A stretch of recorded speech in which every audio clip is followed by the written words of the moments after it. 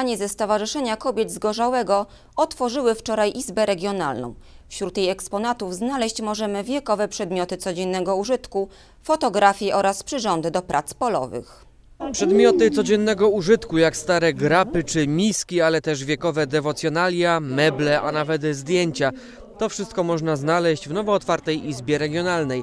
Pomysł zainicjowała mieszkanka tej wsi Zyta Górna. Białci zbierał przez 4 lata to, co miał w swoich domach, na, na, na jakichś siopach, na strychach swoich, to co, i co stąd wynalazły. I to ma, przewiozle tu do tej naszej izby i tu nasza siedziba naszego Stowarzyszenia Gotery. Obecni na otwarciu goście z podziwem zerkali na zebrane przedmioty.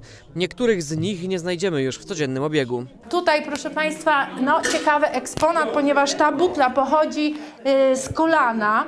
Tam kiedyś w kolanie była karczma, gdzie ponoć legendy mówią, że sam Jan III Sobieski się zatrzymywał. Niewykluczone, że izba będzie stale wzbogacana o nowe eksponaty.